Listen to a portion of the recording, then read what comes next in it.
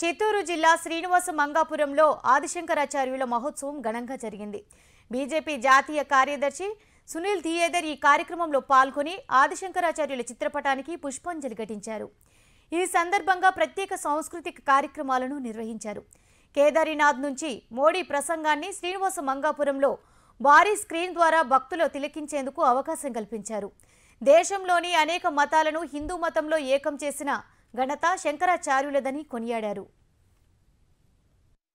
माननीय मुख्यमंत्री Uttarakhand Shri Pushkar Singh Dhami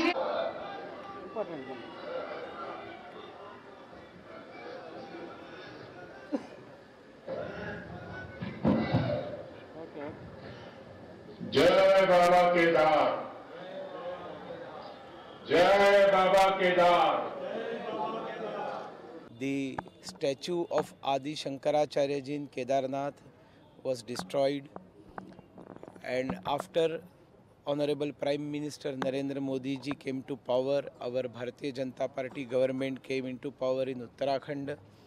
We decided to reconstruct it. And today, on this holy day of uh, Diwali, Honorable Prime Minister has unveiled the statue of uh, Jagadguru Adi Shankaracharya ji in Kedarnath. Jagadguru Adi Shankaracharya visited number of places in this country during his Bharat Brahman to unite this country for the society, for the Dharma, Sanatan Hindu Dharma. Out of those places,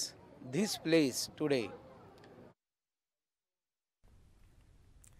నేటి కార్తీక మాసం ప్రారంభోత్సవం సందర్భంగా వేములవాడ ఆలయంలో పూజలు ప్రారంభమయ్యాయి తెల్లవారుజాము నుంచే ఆలయానికి భక్తులు భారీగా తరలివచ్చి స్వామివారిని దర్శించుకున్నారు